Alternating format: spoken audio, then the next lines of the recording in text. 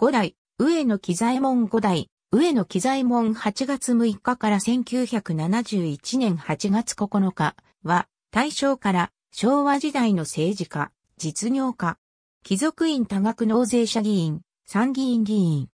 豪商、仙台、上野木左衛門の長男として、鹿児島県薩摩郡熊野城村、大技東での向田向田町に生まれ、父の死去に伴い1921年家督を相続し、全名次郎七を改め襲名する。1927年東京商科大学を卒業する。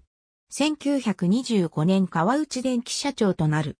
ついで、日本水電副社長、南国工業、南国交通、静岡ガス、唐津ガス、鹿児島油料、鹿児島自動車配給、南国食産などの社長のほか、商工、農商各省委員などを歴任した。ほか、生殺食産銀行監査役、笠佐電機社長、宮崎ガス、鹿児島優先、鹿児島朝日新聞、大日本酒政各監査役などを務めた。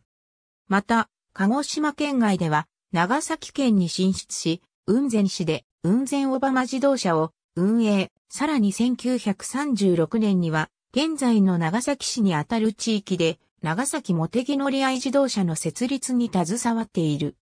1932年鹿児島県多額納税者として貴族院議員にご選され、同年9月29日から1947年5月2日の貴族院廃止までに期在任した。貴族院議員時代は研究会に属した。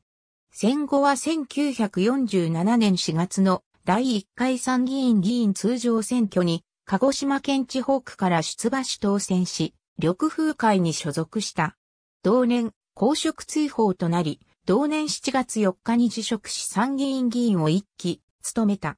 1954年鹿児島商工会議所会頭に就任し6期14年在任。また同年、鹿児島県公安委員長に就任している。